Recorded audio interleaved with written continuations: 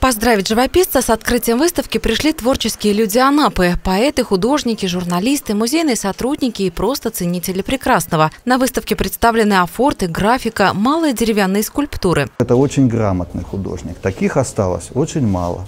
Не побоюсь этого слова, э, наш анапский классик. На этой выставке я вижу восхищение великим русским поэтом, оно везде прочитывается. Юра вообще, так сказать, э, чтит и боготворит Александра Сергеевича Пушкина, и периодически на всем периоде э, значит, своей жизни он периодически возвращается к образу Александра Сергеевича. Каждая работа показывает разного Пушкина, сочиняющего строки с гусиным пером в руках, танцующего с очаровательной красавицей и даже вышагивающего на ходулях по дождливому Петербургу. Неординарный авторский взгляд на творческое наследие Александра Сергеевича нашел самый живой отзвук в сердцах посетителей. Выставка будет работать в течение ближайших двух недель по адресу Анап, улица Крымская, 179. Вход свободный.